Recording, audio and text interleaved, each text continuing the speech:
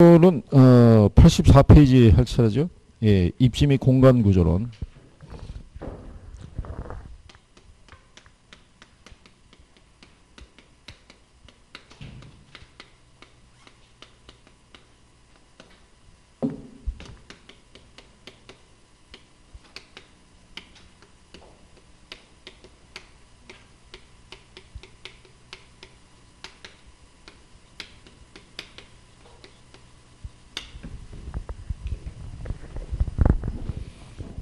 자, 입지 및 공간 구조론의 시험 구성은 이렇게 세 개의 파트로 되어 있어요. 지대론하고 도시공간 구조이론하고 그 다음에 입지론하고 세 가지로 나눠져 있는데 여기 일단 요 지대론에서는 기본적으로 지대 발생 원인은 일단 알아두셔야 돼요. 지대 발생 원인을 물어보니까 그리고 이제 이 지대론에 들어가게 되면 전통적인 지대론이 있어요.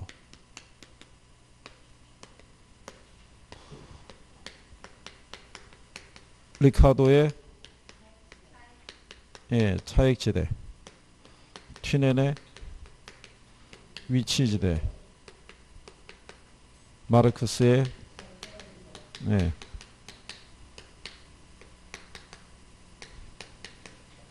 예, 이게 전통적 지대론이고요. 현대적 의미의 지대론에 들어가 있는 게 입찰지대, 그 다음에 준지대, 그죠? 예, 그 다음에 뭐 경제지대 뭐 이런 게 있어요. 근데 요 중에서도 뭐 리카도의 차익지대 있죠. 예.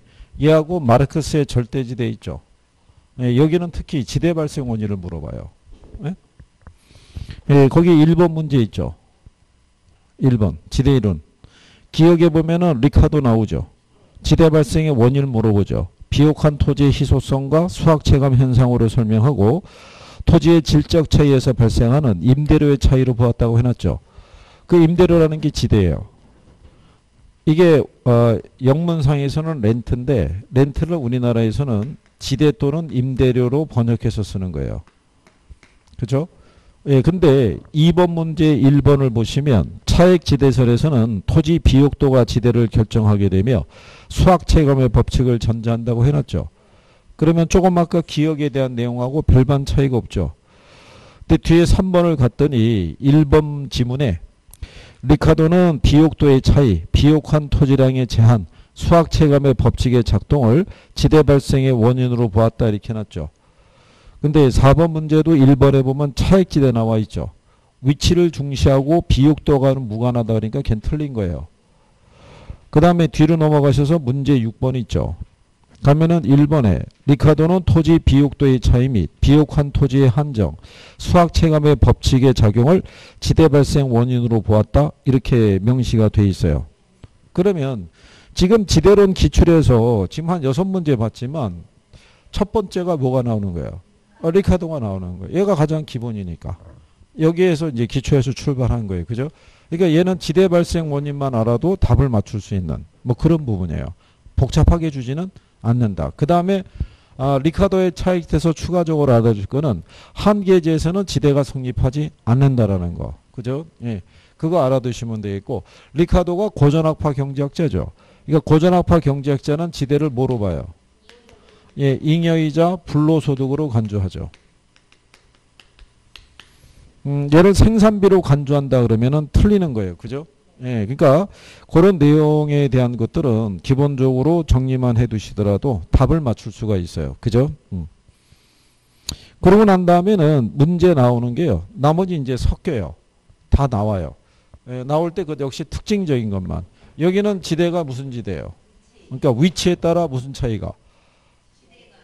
이게 수송비의 차이가 나오죠. 예. 그래서 그 수송비의 차이가 지대의 차이가 된다라고 얘기하는 거예요. 그죠? 시장으로부터의 뭐가 달라지면 위치가 달라지면 거리가 달라지잖아요. 그러면 수송비의 차이가 발생할 수 있죠. 그 제목대로예요. 뭐에 따라? 위치에 따라 지대의 크기가 달라진다는 거예요. 얘는 제목이 절대지대죠. 절대라는 의미는 뭐겠어요? 어? 어, 그래요. 그러니까 무조건 지대가 성립하는 거예요. 무조건. 예. 이거는 비옥도나 위치에 관계없다는 거예요. 그러니까 남의 땅을 사용하면 무조건 지대는 집을 해야 된다 이런 논리인 거예요. 그러니까 지대가 발생하는 거는 토지 소유자가 토지를 소유하고 있다는 사실이 있죠. 예, 이것만으로도 지대가 발생하게 되는 이유가 되는 거예요. 무슨 말인지 이해하시겠죠? 예. 그래서 1번 문제 보시면 기억은 맞는 거죠. 예. 그러면 답은 1번, 3번, 4번 중에 하나예요. 그죠? 그 다음에 니은을 봤더니 마샬은 일시적으로 토지와 유사한 성격을 가지는 생산 요소에 기속되는 소득을 준지대로 설명했다고 해놨죠. 그래서 마샬의 준지대는 단계만 성립하는 개념이라고 얘기한 거예요. 이해하시겠나요? 예. 그래서 제가 지난번에 이게 이제 현대적 의미의 지대론에서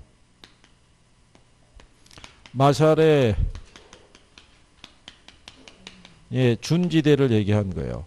이게 준이라는 표현은 엄밀히 말하면 뒤에 게 아니라고 그랬었죠. 예, 그러니까 지대 준에서 취급하는 거예요. 지난번에 마스크를 생산하기 위한 기계가 있죠. 예. 근데 이 기계에서는 생산할 수 있는 수량이 한 천만 장 생산할 수 있는데 갑자기 그때 마스크 수요가 급증했죠. 예, 수요가 한 3천만 장, 4천만 장 이렇게 나온 거예요. 근데 단기적으로는 이 기계 설비를 늘릴 수가 없잖아요. 그럼 단기적으로 수요에 비해서 공급이 부족하죠. 그래서 마스크 가격이 폭등하는 거예요.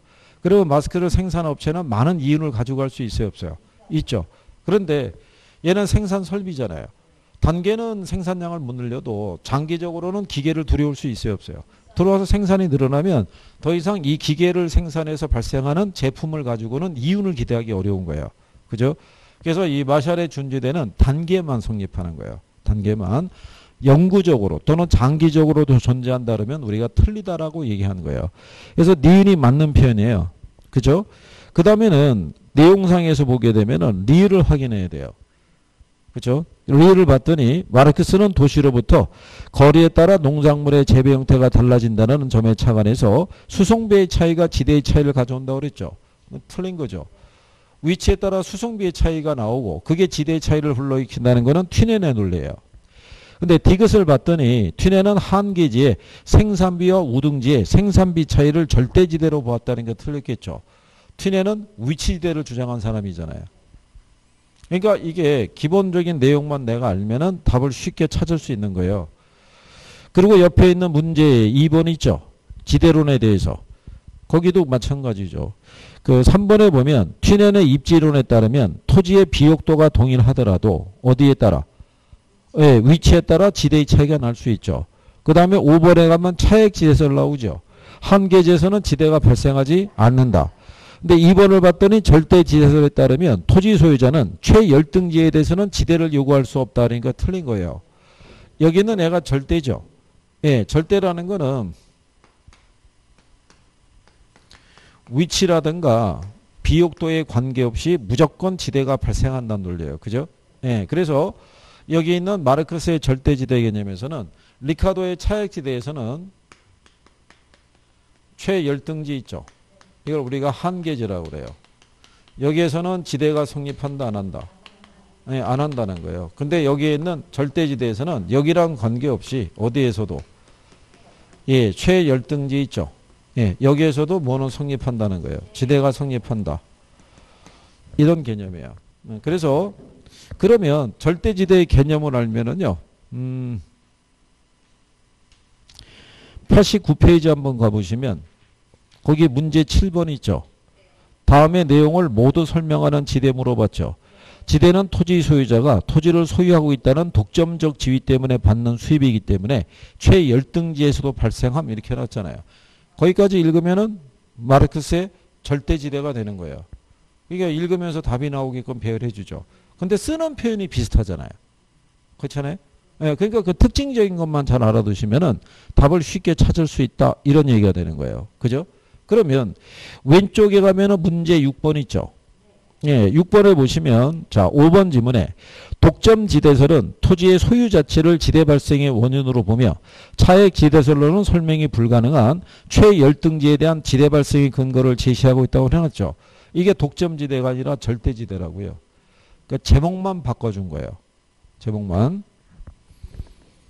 그래서 이제 앞 페이지로 돌아오시면 문제 4번 있죠. 4번. 예, 4번에 보시면 옳은 거 물어봤잖아요. 1번에 보면 차액지대는 비옥도하고는 무관하다는 게 틀렸겠죠. 그 다음에 준지대는 영구적 성격을 갖고 있다 그랬으니까 틀렸을 거 아니에요. 그래서 3번으로 보면은 절대지대는 토지의 생산성과 무관하게 토지가 개인에 의해서 배타적으로 소유되는 것으로부터 발생한다라고 해놓은 거예요. 토지의 소유로부터. 그러면 약간의 표현만 차이가 있지 포인트가 되는 거를 기준으로 출제하는 건 똑같아요. 그런 것만 여러분들이 음 그래서 왼쪽에 가면 문제 3번 있죠. 3번에 가시면 자 3번 지문에 절대 지대설에 따르면 토지의 소유 자체가 지대 발생 원인이라고 해놓잖아요. 근데 5번 지문을 봤더니 차액 지대설에 따르면 지대는 경제적 잉여가 아니라 생산비라고 그래서 틀린 거예요. 뭐로 보는 거예요? 잉여로 보는 거예요. 잉여로. 그렇죠? 그러잖아 여기 하면서 봐. 여기 성이 뭐였지? 성, 성. 아, 박. 그래. 박찬이 여기 들어봤나? 지대로? 첫 수업이 여기였다고? 아, 이 부분부터 들었다고? 듣고 난 한 번, 두 번 듣고 그 내용 정리를 했어. 어? 무슨 말인지는 알겠어. 그래? 여기도 한 번 듣고 다 알았단 얘기네. 아, 동영상을 자주 본다고요? 아, 인강을 많이 들어봤다고요? 예? 아, 나- 나중에 그런 이제 확인해 봐야 하는 거죠. 정시가 나와가지고. 어. 예, 이게 그 본인이 알고 있는 거하고 문제가 나왔을 때 답을 맞춰가는 거하고는 약간의 차이가 있을 수는 있어요. 근데 그런 이제 나중에 좀 있으면 이제 다 알게 돼요. 그죠? 예, 모, 이번에 모의고사 봤어, 안 봤어? 봤어? 몇 점 맞았어? 아, 22개? 22개면은 55점이잖아. 55점. 여기 나머지 분들은 보셨나요? 아, 이- 어, 이분은 저기 6점이 넘으셨고, 예, 그거는 그렇다 이거죠. 근데 이번에 본 건, 어, 1회 모의고사 봤잖아요. 예, 그 다음에 보는 이제 모의고사를 보고 또 판단을 해봐야죠. 가면서 난이도라는 건 조금 조금씩 조정이 돼요. 난이도라는 게. 그리고 이번에 모의고사에서는 계산 문제도 많이 안 들어간 거예요. 그러니까 조금 지나면 실제로가 똑같이 계산 문제가 한 9개. 그 나머지 이론 이렇게 배열이 돼서 들어가니까 나머지 분들도 봐야 돼요. 봐서 데이터가 쌓여야지 뭐가 이제 계산할 수 있다 이런 걸 확인할 수 있죠. 그죠? 음, 그리고 거기 요 지대론에 대해서는 요 특징적인 건 그래서 반드시 정리해 두신 게 필요하고 거기 문제 5번 있잖아요. 계산 문제. 이거는 여러분 시험에 딱 한 번 계산 문제로 나왔는데 내용이 뭐냐면 자 쌀과 우유, 사과 세 가지 상품에 100평방미터당 연간 산출물에 시장 가격, 생산 비용, 교통 비용을 나타냈다고 해, 해놨죠. 자 상품의 생산지와 소비되는 도시까지의 거리가 19km인 지점에서도 이윤을 얻을 수 있는 상품을 물어봤죠. 예, 이거는 이거 활용한 거예요. 뒤에는 위치 지대 있죠. 어, 얘 지대에 대한 거는요. 자, 생산물 가격이 있죠. 여기서 생산비하고 뭐를 뺀 거냐면 수송비를 뺀 게 지대예요. 예, 그래서 이게 남는 것 있죠. 플러스가 되는 애를 고르라 이런 얘기인데 자, 거기 보시면 맨 먼저 나온 애가 누구예요? 거기 보면은 이 시장 가격이 얼마예요? 150만 원이죠. 150만인데 생산비가 얼마 들어가요? 그러면 여기에다가 이제 수송비를 빼줘야 돼요. 그죠? 요 수송비의 계산은요. 단위 거리당 수송비 있죠? 예, 여기에다가 거리를 곱하면 돼요. 그죠? 근데 거기 보면은, 자, 수송비가 키- 어, 킬로미터당 얼마예요? 5만 원이잖아요. 근데 거리가 몇 킬로예요? 19킬로잖아요. 그러면 얘 계산하면 얼마 나오겠어요? 이게 95만 원 나오겠죠? 그러면 150에서 70 빼면 남는 게 80이잖아요. 80에서 95 빼면은 마이너스 15죠? 그렇죠? 그러면 답은 2번인 거예요. 자, 2번을 제외하고는 쌀이 다 들어가 있잖아요. 어? 그러니까 쌀을 제외해 갖고는 이윤을 못 얻잖아요. 그러니까 쌀이 들어가면 틀리다고요. 이윤을 얻을 수 있는 작물을 물어봤으니까. 그러니까 출제자가 의도적으로 배열을 이렇게 맞춰준 거예요. 그래서 이거를 아는 사람은 쌀을 딱 지문을 봤을 때 쌀이 들어가 있는 애들은 다 틀리다고 봐야겠죠. 그래서 답이 2번. 그죠? 그러니까 이게 이제 그 다음에는 안 나오는 거죠. 이렇게 계산하는 요령을 알았으니까. 그리고 왜 이런 식의 배열을 해주냐면 1분 안에 풀어야 되니까.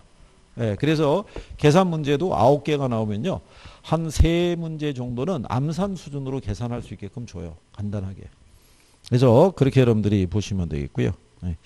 그 다음에 이제 뒤로 넘어가셔가지고, 자, 같은 논리죠. 거기 문제 6번에 지문 하나 확인하시게 되면 2번 지문에 위치 지대 나오죠. 지대 함수는 중심지에서 거리가 멀어짐에 따라 지대가 점점 감소하는 함수라고 그랬죠. 그럼 왜 그러냐면 시장으로부터 거리가 멀어지게 되면 뭐가 증가해요? 교통비가 증가하니까 상대적으로 지대가 줄어드는 그런 현상으로 나타나겠죠. 그렇죠? 예. 자, 그런 내용이고요. 그 다음에 이제 예, 현대적 의미의 지대로에서 나오는 게 알론소에 무슨 지대가 있었어요? 입찰지대. 알론소의 입찰지대는 튀넨의 고립국 이론에 영향을 받은 거죠. 예, 그래서 기본 조건이 똑같아요. 거기 1번 지문에 튀넨의 고립국 이론을 도시공간에 적용해서 확장 발전시킨 이론이라고 해놨어요. 그래서 2번 지문에 뭐라고 해놨냐면 운송비는 도심지로부터 멀어질수록 증가하고요. 그 다음에 재화의 평균 생산 비용은 동일하다는 가정을 전제한다고 해놨죠. 이유는 튀넨이 얘기한 고립국 아시죠? 예, 이 고리, 뭐, 이 고립국 안에 있는 모든 토지는 이게 똑같아요. 예, 비옥도가 똑같고 생산비도 동일하다는 가정이에요. 근데 지대의 차이가 나오는 거는 시장으로부터 뭐에 따라? 거리에 따라. 그죠? 그거 기억하시죠? 예, 그 논리를 그대로 도시 공간에 적용해 준 거예요. 그래서 튀네는 여기가 만약에 시장이고요. 여기가 지대고 여기가 거리가 되면은 시장하고 거리가 가까울 때 무슨 농업이 이루어지냐면 집약적인 농업이 멀어지면은 조방적인 농업이 이루어진다 그랬었죠. 이거를 도시 공간에 그대로 적용한 거예요. 그래서 여기가 도심일 때요. 지대. 도심에서 제일 가까운 곳이 지대가 비싸겠죠. 그러니까 여기가 상업. 그 다음이 주거. 그 다음에 공업. 이런 식으로 토지용 유형을 설명하는 거예요. 위치에 따라 지대의 크기가 틀려지잖아요. 이건 어떤 용도를 이용해야 되는지를 다 결정을 해주는 거죠. 그래서 튀넨의 고립국 이론을 도시공간에 적용한 게 알론소의 입찰지대예요. 그죠? 근데 입찰지대라는 거는 토지 사용자가 지불할 수 있는 최고 가격이라고 그랬어요. 그죠? 그래서 토지 사용자가 지불할 수 있는 최고 가격이라고 그랬죠. 근데 3번에 보면 지대는 기업체의 정상 이윤과 투입 생산비를 지불하고 남는 잉여에 해당이 되며 토지 이용자에게는 최소 지불 용이익이라고 그랬죠. 그 틀린 거예요. 최소가 아니라 뭐다? 최대예요. 그 이상은 지불할 수 있어요, 없어요? 그 이상은 지불할 수 없다라고 얘기하는 거예요. 그죠? 입찰지대라는 거는 각 지점의 토지 사용자들이 지불할 수 있는 최고 가격을 나타낸 거예요. 그죠? 그래서 그거를 설명하기 위해서 지난번에 우리가 수년가를 갖고 설명해 드렸어요. 기억하시나요? 음, 그래요. 어, 이번의 특징은 어색하면 웃음으로 때우는군요. 어. 아, 여기가 도심이고요. 여기가 뭐가 되냐면 지대예요. 근데 여기 도심에 위치한 토지는 뭐가 좋다고 그랬냐면 이게 좋다고 그랬어요. 예, 접근성이 좋으면 이걸 기대할 수 있어요. 입증이라는 거를. 그죠? 예, 근데 현재 이 토지 있죠? 이 토지의 지대가 천만 원이에요. 이 토지를 사용하려고 그러면. 근데 이 토지를 차지하기 위해서 여러 개 업종이 경쟁을 하고 있어요. 근데 얘네가 얻을 수 있는 수년가 있죠. 얘가 700, 얘가 500, 얘가 300 이렇게 제시했던 거예요. 그죠? 근데 전부 0보다 크죠. 0보다 크다는 의미가 뭐라고 그랬어요? 네, 투자자가 요구하는 수익이 있죠. 그러니까 이 천만 원을 지불하고도 이만큼의 초과이윤이 발생하는 거예요. 그죠? 근데 이 토지를 차지하기 위해서 이 업종이 경쟁을 펼칠 수 있죠. 그 과정에서 호가가 높아지는 거예요. 그래서 결국은 얘가 1700까지 상승해요. 그죠? 그러면 이 토지는 얘가 차지하는 거예요. A가. A는 1000만 원에다가 추가적으로 발생하는 이윤은 700만 원이 있죠. 여기까지는 지불하더라도 정상 이윤을 얻을 수 있어요. 근데 이 이상은 지불할 수 없는 거예요. 이 이상을 지불하면 정상 이윤도 확보가 안 되니까. 그러니까 각 지점에 토지 사용자가 지불할 수 있는 최고 가격인 거예요. 그러면 그 다음에 여기는요. 경쟁에서 1,500으로 결정이 되면 여기는 B가 들어올 수 있는 거예요. B도 1,500 이상은 지불할 수 있어요, 없어요? 1,500 이상은 지불할 수 없는 거예요. 그걸 마지막에는 누가 들어서냐면 C가 들어서겠죠. 얼마를 주고 1,300. 얘도 1,300 이상은 줄 수 없는 거예요. 그러니까 각 지점의 토지 사용자들이 지불할 수 있는 최고 가격이 있죠. 예, 걔들을 선택해서 연결한 선이 입찰지 대 곡선이라는 거예요. 예, 그래서 거기 지문에서 보게 되면 최소 지불 용액이다. 그래서 틀린 거예요. 이해하시겠나요? 음. 그리고 이제 4번과 같은 경우는 거의 뭐 상시적으로 풀 수 있죠. 도심 지역에 이용 가능한 토지는 외곽 지역에 비해서 한정돼 있죠. 그러니까 입증료를 기대할 수 있는 이런 토지는 제한적일 거 아니에요. 그러니까는 토지 이용자들 사이에서는 경쟁이 치열해질 수가 있겠죠. 네, 그래서 이제 그런 표현이 나오는 거예요. 근데 항상 답은 포인트 되는 것에서 주어진다라고 보시면 되죠. 그 다음에 뒤에 보면은 문제 9번에 마샬의 준지대라고 나오죠. 음, 그래서 거기 2번 지문에 준지대는 생산을 위해서 사람이 만든 기계나 기구들로부터 얻는 소득이라고 얘기를 하는 거예요. 근데 거기 5번을 갔더니 준지대는 토지 외의 고정 생산 요소에 귀속되는 소득으로서 다른 조건이 일정하다면 영구적으로 지대 성격을 가지는 소득이다. 그래서 틀렸단 얘기예요. 인간이 만든 기계 등에서 발생한 소득은 일시적으로 발생하는 거예요. 영구적으로 존재할 수가 없어요.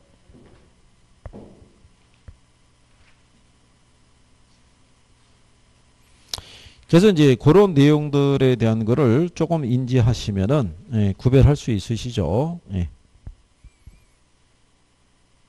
그래서 그 밑에 문제 10번 있잖아요. 10번에 보면 틀린 거 물어봤죠. 거기 5번에 가면 마샬은 일시적으로 토지의 성격을 가지는 기계, 기구 등의 생산 요소에 대한 대가를 파레토 지대로 정의하였다 이렇게 했잖아요. 예, 이렇게 해도 주는 거예요. 그죠?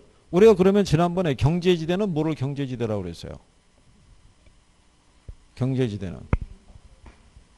이게 학창철만 같아도 나와 뭐 이런 게 되는데 여기는 뭐 그게 안 되니까 그죠? 소리 많이 쳐다보잖아요. 그죠?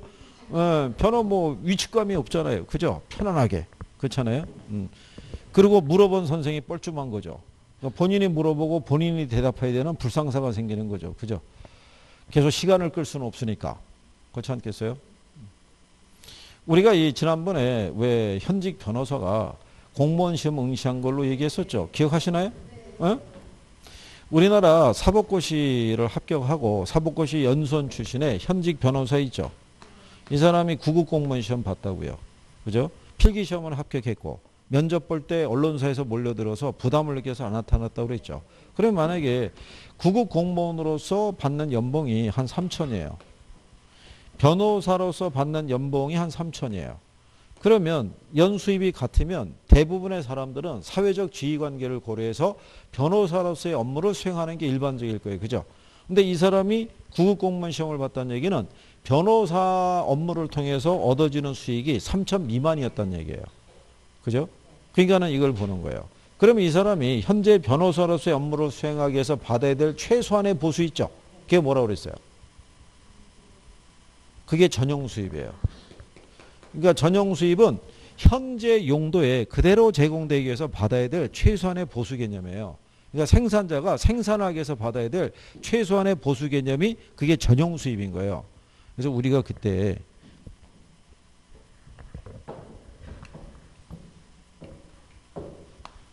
그림으로도 얘기해 드린 거예요. 자, 시장 가격이 천 원일 때요. 10개가 판매가 돼요. 이때 생산자의 총 수입이 얼마겠어요? 어? 만 원인 거예요. 그죠? 그런데 이때 생산자가 10개를 생산하기 위해서는 최소한 받아야 될 보수가 있다 그랬죠. 그게 생산비라고요. 최소한 800원을 받으면 생산자는 정상 이윤을 확보하는 거예요. 그죠? 예.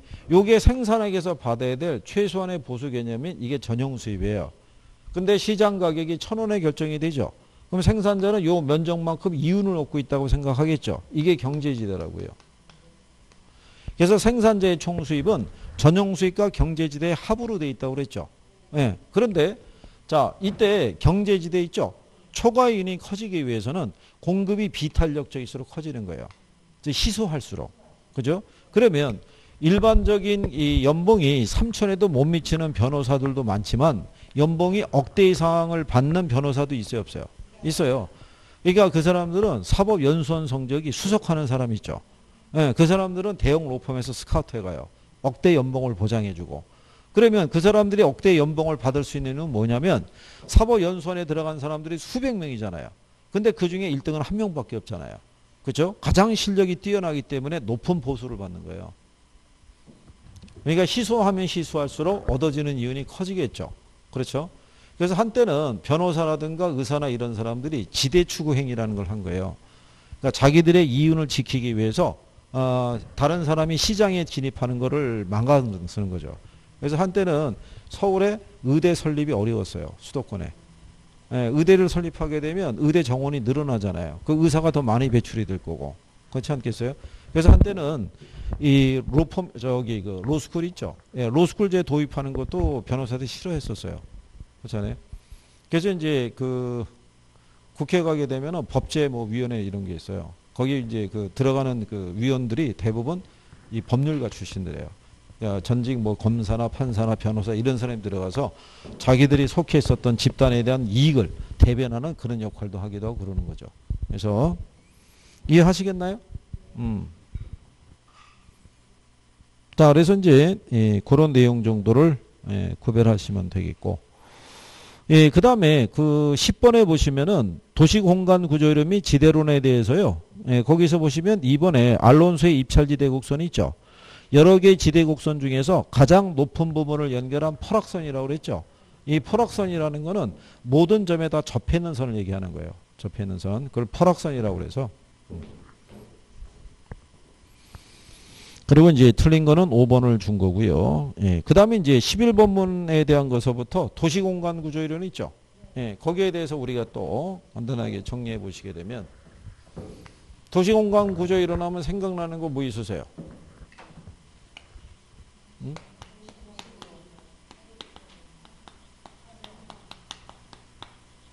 음, 근데 그 앞에 꼭 얘가 들어가야 돼요. 버제스의 동심원 이론. 그죠? 호이트의 예, 선형 이론. 그 다음에 해리스하고 예, 울만의 다핵심 이론. 처음에 학생분들이 여기서 막 리카도 나오고 티넷 나오고 마르크스 나오고 여기 또 뭐 마샬 나오고 뭐 알론소 나오고 이름 많이 나오잖아요. 근데 여기 갖고 또 선생이 버제스, 호이트, 뭐 해리스, 울만 나오면 거의 듣다 쓰러지는 거예요. 저걸 꼭 해야 되나? 뭐 이런 거 있잖아요. 이름만 알면 되지. 근데 이름을 물어보죠. 예, 그래서 예, 이거를 정리를 해줘야 되는 거죠. 그래서 93페이지에 가시면 거기 하단에 15번 문제 있죠. 다음의 내용을 모두 만족시키는 도시공간 구조를 물어봤잖아요. 근데 첫 번째, 두 번째, 세 번째 논리가 뭔지는 몰라도 마지막에 가보게 되면 해리스하고 울만이 주장한 거예요. 그럼 무슨 이론이겠어요? 그럼 다 핵심 이론을 준 거예요. 그렇잖아요? 근데 이것만 이렇게 나온 게 아니라 그 이전에는 얘도 나온 거예요. 호이트의 선형 이론도. 얘는 거꾸로 박스 준 다음에요. 제일 첫 번째 지문이 미국의 도시경제학자인 호이트가 주장하였다 이렇게 준 거예요. 그래 놓고 1번 지문에 선형 이론을 이렇게 배열해 준 거예요. 그러면 읽으면서 바로 얘가 답이다 이렇게 찍을 수 있잖아요. 그런 문제도 한 100개 줘요. 예. 40분 안에 풀어야 되니까. 그러니까는 인식을 이렇게 해줘야 되고 여기는 도시가 팽창하는 것 있죠. 제목대로예요. 도시는 시간이 지나면서 도시의 공간 구조는 변화를 일으키면서 이제 확장이 되겠죠. 얘는 무슨 형태로? 예, 여기는 얘는 뭐? 얘는 다액을 네, 기준으로 해서. 그러니까 제목이 설명하는 거예요. 그죠? 음. 그래서 얘는 일정한 원을 그리면서 도시가 팽창한다라고 설명해 드린 거예요. 그죠? 그래서 도심에서 외곽으로 갈수록 뭐가 개선이 돼요? 주거 환경이 좋아져요. 그래서 도시 문제가 줄어든다고 그랬었죠. 예, 근데 다만 동심원 이론상에서는 중심 업무지구 있죠. 예, 얘를 중심으로 해서 점유지대 있죠. 저소득층, 그 다음에 고소득층, 그 다음에 뭐가 있냐면 통근자 지대 이렇게 돼 있어요. 여기서는 얘네 위치를 물어보는 거예요. 점미지대 위치를 출제했었고요. 그 다음에 저소득층의 주거가 고소득층의 주거보다는 도심에 가깝게 위치하고 있다는 거. 얘는 왜 도심에 가깝게 위치한다고 그랬어요? 어, 그죠. 일자리, 일자리. 왜냐하면 공장이 여기 있잖아요. 어? 어, 그러니까 취업의 기회를 좀 더 쉽게 얻기 위해서 여기다 주거를 정하는 그런 개념이라고 그랬어요. 그죠? 그 다음에 여기서 호이트의 선형 이론이 있죠. 어, 얘는 도시가 팽창을 하는데 원을 그리면서 팽창하는 건 똑같은데 그게 일정한 원을 그리면서 팽창하는 게 아니라 방사형으로 확장된다는 거예요. 이게 중심 업무 지고 있으면요. 얘를 기준으로 해서 이런 식으로. 그죠? 그러면은 여기 끝에 있죠. 여기에 고소득층의 주거지가 조성이 돼요. 그러면 얘네를 중심으로 요 주변에 누가 중산층들이 여기를 둘러싸고 이렇게 주거가 정해지는 거예요. 그러면 여기도 가로가 이렇게 가다 보면은 여기에 고급 주거지구가 여기 조성이 된다고요. 그죠? 음, 이런 식의 구조로 나타나는 게 유럽에 있는 프랑스 파리 있죠. 예, 파리라는 도시가 이런 형식이에요. 그러니까 걔네도 중간에 가면은 뭐가 있냐면은 뭐 개선문 이런 거 있잖아요. 개선문을 중심으로 해서 뻗어가게 되면 여기에 또 하나 어 그래서 무슨 박물관 뭐 이런 거 있잖아요. 얘가 중심이 축이 돼서 이렇게. 예, 그래서 요 주변에 또 주거가 들어서고 이런 식으로 그러니까 분리가 되는 거예요. 이런 식으로 이렇게 뻗어 나가는 걸 방사형 가로 구조라고 해요. 우리나라 남쪽에 가면 진해라는 도시 있죠. 어, 걔네가 이런 방사형이에요. 그러니까 걔네는 방사형이 어떻게 되냐면 여기가 도시의 중심이잖아요. 근데 만약에 가로 구조가 이렇게 돼 있잖아요. 이렇게. 그러면 외곽에서 도심으로 들어올 때가 번거로운 거예요. 어, 여기를 이렇게 도로를 열어주는 거예요. 이렇게. 이걸 직교 방사형이라고 그래요. 그럼 외곽에서 도심으로 어떻게 돼요? 바로 들어올 수 있잖아요. 접근성이 좋아지니까 여기에 고급 주거지가 여기에 조성이 되는 거예요. 여기. 교통이 편리한 곳에. 그러니까 가격이 비싸겠죠. 그러니까 여기는 주변은 중산층이 들어주고 주거지가 이런 식으로 조성이 되어 있다고 생각하시면 돼요. 이렇게 해서 이 교통 축을 중심으로 해서 방사형으로 이 도로가 이제 도시가 확장돼 나가는 게 무슨 이론이다. 선형 이론이에요. 그러면 도시가 성장할 때는 교통의 발달도 중요한 역할을 하겠죠. 예, 더불어서 뭐도 예, 소득의 증가도 중요한 역할을 하는 거예요. 소득이 뒷받침이 돼야지만 고급 주택 지구의 주거를 정할 수 있을 거 아니에요. 그죠? 예. 그런 내용이고요. 해리스 홀만의 다핵심 이론은 얘네들은 단핵 도시라고 그랬죠. 근데 얘네만 다핵 도시예요. 그럼 다핵이 생기는 원인이 중요하다고 그랬죠. 네, 원인이 몇 가지 있었어요. 아 그렇군요. 여러 가지 그래요. 네. 가면서 대, 답이 점점 진화하고 있죠. 그죠? 어, 옛날에 그냥 침묵으로 일관했는데 요즘은 뭐라도 하나 던져보는군요. 어, 그냥 뭐 빠지지는 않겠다. 뭐 이런 얘기군요. 그래요. 자, 다액이 발생하는 이유가 네 가지예요. 네 가지. 그죠? 일단은 특정한 시설하고 뭐를 필요 하겠어요? 위치. 그래서 우리가 보면요. 우리나라 지도 구성을 보게 되면 이쪽이 원래 산업단지 조성이 활발했던 곳이에요. 그죠? 여기 울산이며 포항이며 이런데. 그잖아요. 근데 서해안 시대 일로 왔잖아요. 이쪽에 산업단지 조성이 된 곳의 공통점은 다 한국 끼고 있는 거예요. 평택항이나 당진항이나 이런데. 그러니까 생산해서 수송하기 편리한 곳 있죠. 네, 특정한 시설과 위치를 필요로 하는 산업 때문에 핵이 분리될 수 있다라고 얘기했어요. 그죠? 그 다음에 유사 업종 간에는 모여서 입지하는 경향이 있다고 그랬죠. 예, 그래서 이거 설명해 드리려고 설명했던 게 대학가예요. 신촌에. 신촌에 대학가라고 명칭을 했을 때 그 지역을 가보면 대학만 있는 게 아니에요. 대학을 중심으로 주거지 있죠. 주거지도 조성이 돼 있고 그 주변에 상업적인 시설도 계속 모여드는 거예요. 그래서 하나의 타운이 형성이 되는 거예요. 그죠? 예. 그런 식이라고 그랬고요. 그 다음에 이질 활동 간에는 입지적 비양립성이라고 그랬죠. 그래서 이 공장 지구하고 고소득층의 주거지 있죠. 예, 얘네는 서로 멀리 떨어서 입지하는 개념이라고 그랬어요. 그죠? 기억하시나요? 그래서 왜 서울에 보면은 전통적인 부촌이 종로에 있다고 그랬죠. 그리고 구로공단의 위치 있죠. 그게 예전에 60년대 후반에 구로공단을 조성할 때마더라도 지금은 구로공단 하면은 2호선 지하철이 돌아요. 근데 옛날에는 그 지하철이 없었을 때였어요. 그죠? 왜냐하면 우리나라 1호선이 75년도인가 세웠다고요. 그러니까 그 이전에 공단이 조성했을 때는 지하철 노선은 없었고 버스도 시내 버스가 아니라 시외 버스 있죠. 예, 경기도에 그 경기에 붙어 있는 쪽에 있었던 거예요. 그러니까 벌판에 뭐밖에 없었냐면 공장 있잖아요. 예, 그거 몇 개 들어선 거밖에 없었어요. 고급 주거지구하고 공장지구가 서로 인접해봐야 좋을 게 없잖아요. 그러니까 떨어져서 일부러 입지시키는 과정에서 핵이 분리된다는 거예요. 그 다음 마지막으로는 지대지불 능력에 따라. 근데 이거를 출제해서 표현을 할 때는요. 음, 어떻게도 표현을 해주냐면, 그러니까 여러분들이 거기 91페이지 가보신 문제 11번이 있죠. 예, 거기 가면은 5번에 다액 11원이 있죠. 지대를 지불하는 능력의 차이와 유사한 활동이 집중하는 성향을 도시의 다획화 요인으로 설명하고 있다. 이렇게 해놨어요. 그죠?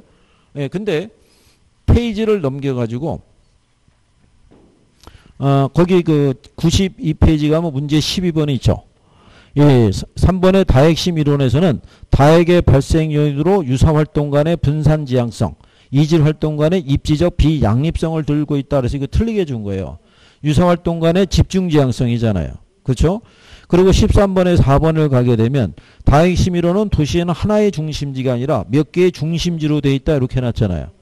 이게 옆에 15번 있죠. 15번을 가게 되면 이렇게 해놓은 거예요. 자, 유사한 도시 활동은 직접으로부터 발생하는 이익 때문에 집중하려는 경향이 있고 서로 다른 도시 활동 중에는 직접 불이익이 발생하는 경우가 있는데 이러한 활동은 상호 분리되는 경향이 있다 이렇게 해놨어요. 또 도시 활동 중에는 교통이나 입지 측면에서 특별한 편익을 필요로 하는 기능들이 있다 이렇게 해놨잖아요. 그러니까 이제 세 번째가 특정한 시설과 위치를 필요로 하는 산업이 있다는 것을 풀어준 거고 무슨 말인지 이해하시겠나요? 그리고 직접 불이익이 발생하는 게 있다고 그랬죠. 그러니까 이질 활동 간에는 입지적 비양립성이 있죠. 예, 그거를 이렇게 또 풀어준 거예요. 그 다음에 첫 번째는 유사 활동 간의 집중 지향성이 있죠. 이걸 이렇게 풀어준 거예요. 그러니까 제가 볼 때는 이렇게 풀어주고 난 다음에 학생들이 이전에 나왔던 지문하고는 표현이 틀리잖아요. 그래서 혹시 헷갈려 할까봐 마지막에 해리스하고 울만이 주장했다고 결정적으로 하나를 깔아준 거예요. 그냥 그거 보고 무슨 말인지는 몰라도 어, 다 핵심이구나. 그리고 찍어준 거예요. 그죠? 그러니까 이렇게 기출해서 활용했던 지문들은 언제든지 재활용할 수 있어요.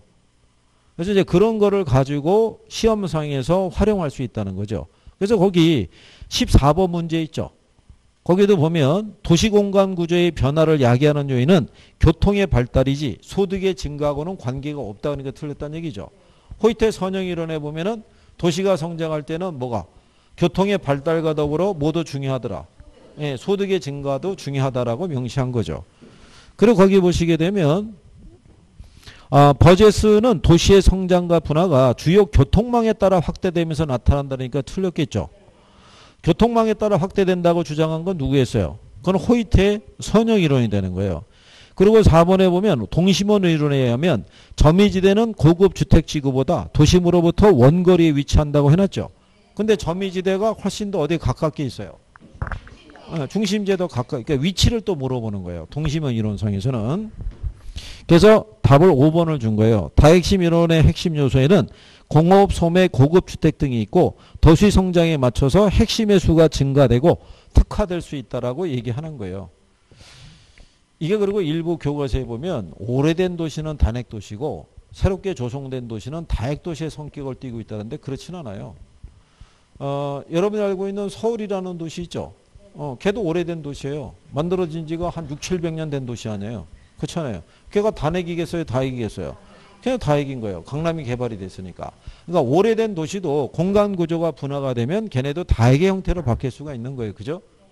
그리고 신도시로 새로 조성이 됐더라도 도시에게 하나로 만들어서 조성이 되면 걔도 단핵의 형태로 나타날 수 있는 거예요. 그러니까 절대적인 거는 아니라고 생각하셔야 돼요. 무슨 말인지 하시겠죠? 음, 그래서 그런 내용들을. 그래서 이제 옆에 13번 문제 있죠?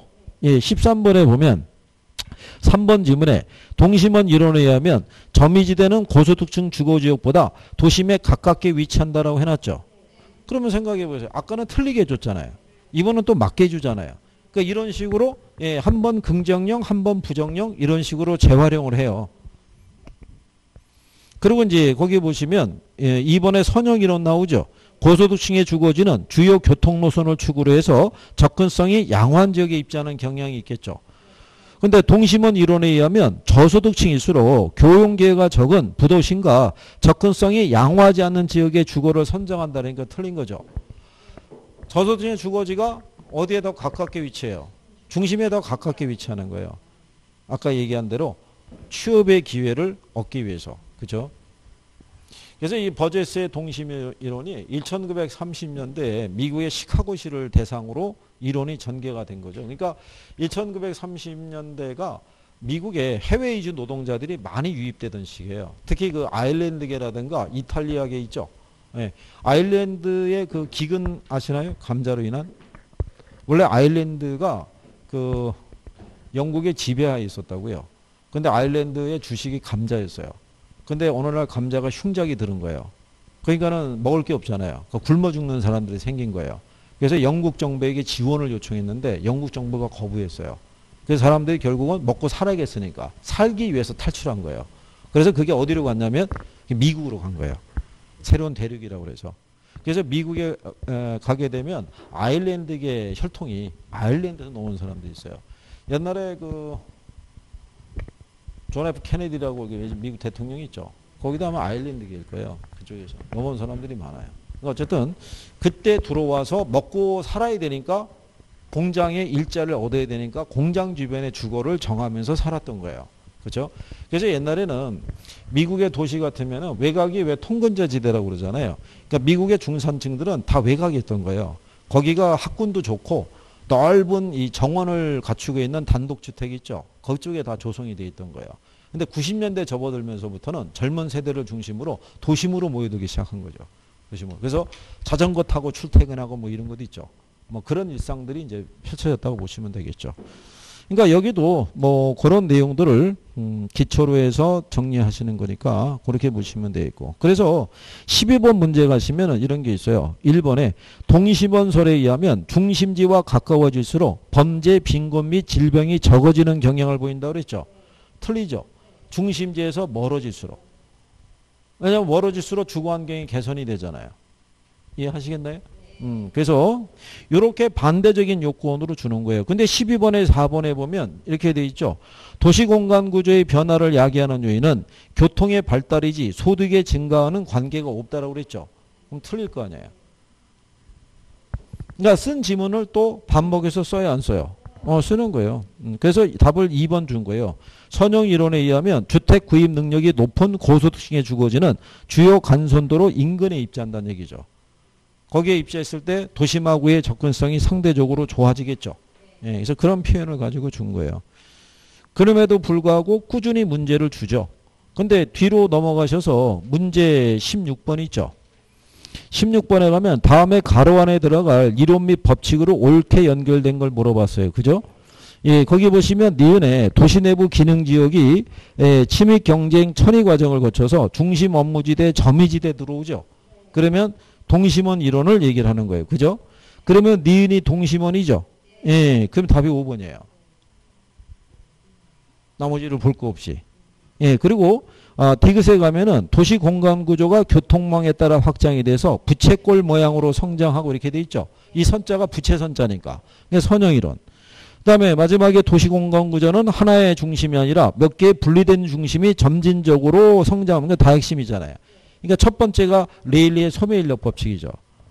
거기 보면은 두개 도시의 상거래 후임력은 두 도시의 인구에 비례하고 거래 제곱에 반비례한다고 돼 있죠. 이게 뒤로 가면은 두 번이 더 나와요. 레일리의 소매인력 법칙이. 근데 하나는 맞는 거, 하나는 틀린 거로 줘서 답을 줘요.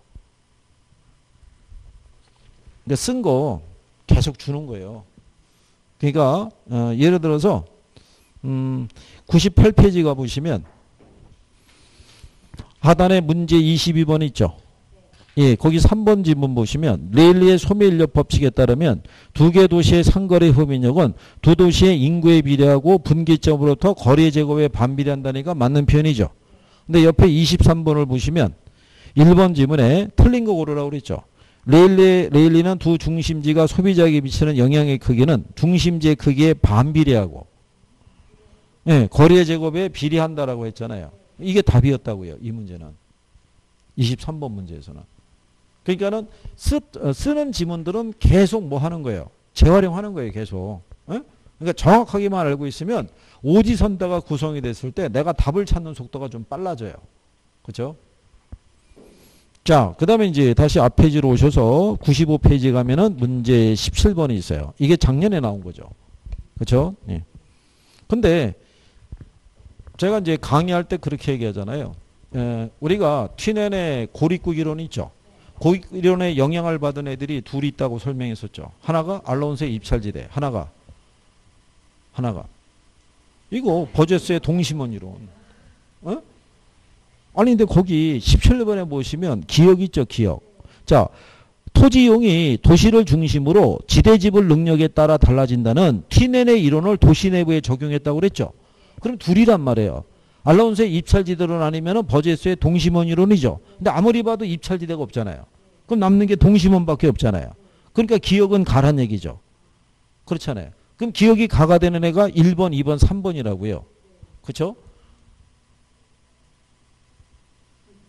그 다음에 니은에 보면 공간적 중심지 규모의 크기에 따라 상권의 규모가 달라진다는 것을 실증하였다는 것 있죠. 중심지 논리가 나오는 것은 크리스탈레의 중심지 이론 하나밖에 없어요. 자, 여러분들이 보시면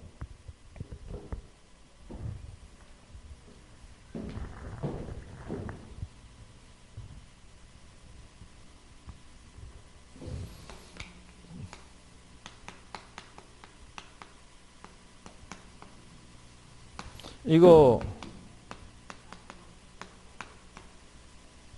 만약에 이렇게 돼 있다 그러면 그죠? 중심지 규모의 크기가 틀리죠. 그렇잖아요. 얘들도 나름대로의 중심지 역할을 할 수 있어요, 없어요? 어, 역할을 할 수 있는 거예요. 근데 여기 있는 대전광역시는 여기 있는 세종시 있죠. 네, 세종시부터 여기 여기에 조치원 있나요? 얘네들이 다 뭐로 확보할 수 있냐면 배우지로 확보할 수 있는 거예요. 그렇잖아요. 근데 세종시가 배우지로 만약에 중심지 역할을 하기 위해서 흡수하는 배우지 있죠. 얘네들은 제한적이라고요. 규모가 크질 못해요. 얘네는 인구가 100만 정도 되기 때문에 백화점이 있잖아요. 그러니까 백화점에 관한 서비스도 제공이 돼요. 근데 여기는 인구가 50만이 못 넘어가죠. 그러니까 백화점에 관련된 서비스는 제공이 안 돼요. 그러니까 얘네가 제공할 수 있는 서비스는 제한적일 수밖에 없어요.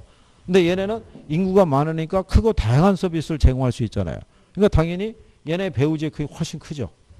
무슨 말인지 아시겠나요? 그러니까 중심지 크기에 따라 상권의 규모가 달라지는 거예요. 중심지가 크면 클수록 얘네가 제공하는 서비스가 도달할 수 있는 상권의 범위는 더 커진다고 보시면 돼요. 그리고 이제 특정한 점포가 최대 이익을 얻을 수 있는 매출액을 확보하기 위해서는 어떤 장소에 입지해야 되느냐를 물어본 것 있죠. 그게 넬슨의 소매 입지론이라는 거예요. 그래서 넬슨이 가장 강조한 게 뭐였냐면 양립성이라는 거예요. 양립성이라는 게 어떤 의미인지는 알고 있죠?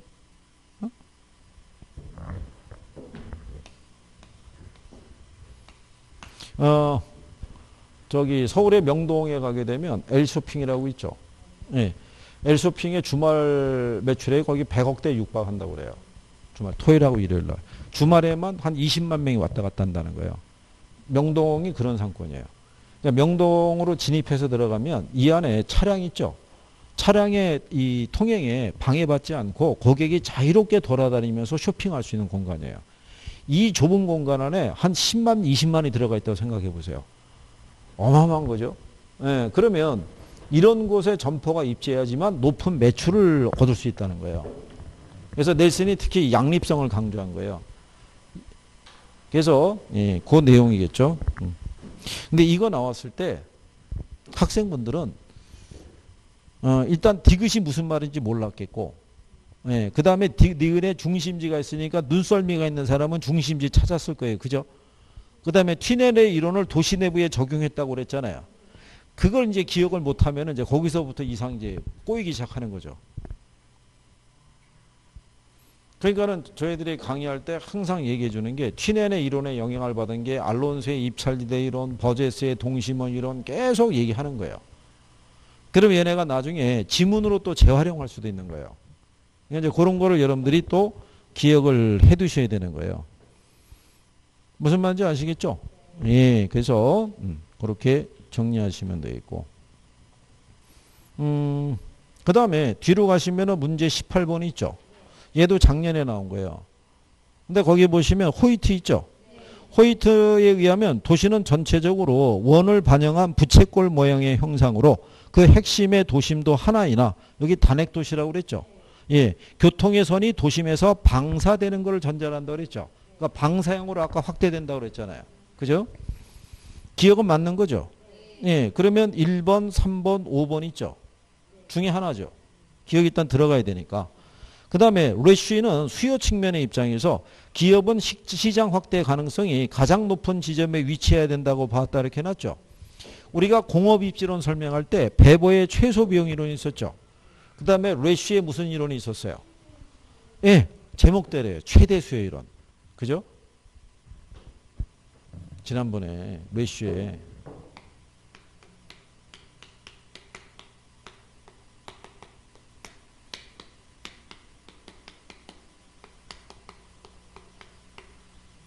이게 최대 수요율이니까 지난번에 이렇게 해드렸다고요. 기업에서 이윤을 올릴 수 있는 거는 총 수익에서 총 비용을 빼서 얻을 수 있는데 얘네 논리는 뭐냐면 이게 일정하다고요. 그래서 이 수익이 커지기 위해서는 이게 확대돼야 된다고 얘기한 거예요. 상품의 판매 수량이. 그러니까 상품이 가장 판매될 수 있는 가능성이 높은 곳 있죠. 거기가 어디냐면 시장이라고요. 여기가 시장인 거예요.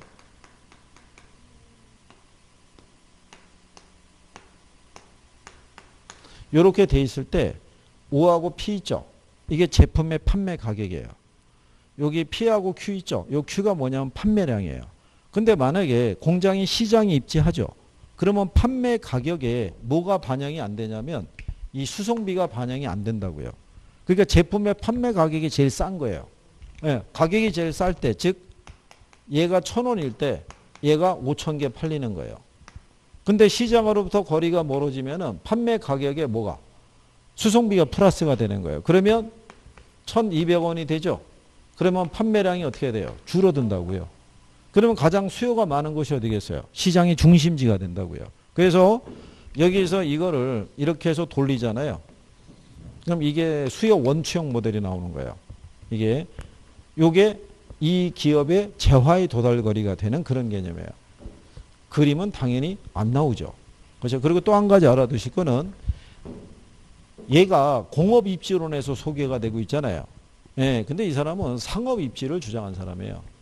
여기도 보면 최대 수요 이론이잖아요. 무슨 말인지 아시겠나요? 예, 그래서 나중에 이 사람의 논리가 나오면서 상권에 또는 상업 입지에 관련된 내용이 지문으로 들어오더라도 이 사람은 공업 입지를 주장한 사람인데 그게 틀리지 않 이렇게 생각할 수는 안 되는 거예요. 무슨 말인지 아시겠죠? 예, 그 다음에 디귿에 보면 튀네는 완전히 단절된 고립국을 가정해서 이것의 작물 재배 활동은 생산비와 수송비를 반영해서 공간적으로 분화된다고 봤다 이렇게 해놨잖아요. 그래서 세 개의 지문을 다 맞게 준 거예요. 기억하고 니은하고 디귿하고. 그러니까 이게 용어를 잘 모르는 사람은 세 개가 다 맞을 거라는 생각을 안 하고 예, 찍겠다는 의지를 갖고 있는 사람은 틀림없이 뭔가 하나를 버리려고 생각했을 거예요. 그러면서 장렬하게 전사했을 거고 이제 그렇지 않은 사람은 내용을 조금이라도 정리가 되면 풀 수 있는 거죠. 그 차이예요. 그러니까 용어를 정확하게 하는 게 중요해요. 그래서 나중에 여러분 간에 튀넨의 고립극 이론이 뭐야? 라고 물어봤을 때 간단하게 설명할 수 있게끔 서로 그죠? 버제스의 동심원 이론이라는 게 뭘까라고 했을 때 간단하게 설명할 수 있는 수준은 돼야 돼요. 그죠? 야, 그거를 언제 다 하지? 괜찮아요. 나중에 시험 끝나면 다 잊어먹어요. 그때까지만 하시면 돼요. 자, 여기까지 하셨고 잠깐 쉬었다가 이어서 하시죠.